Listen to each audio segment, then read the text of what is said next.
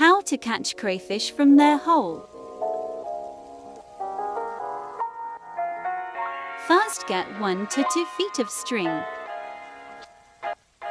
Then get some bait. I'm using hot dog.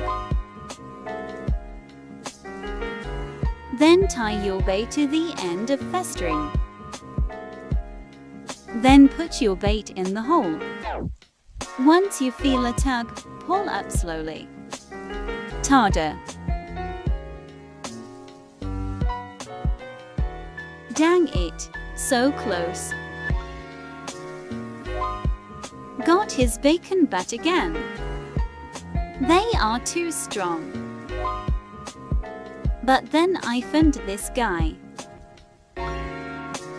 Gotcha, haha. And that's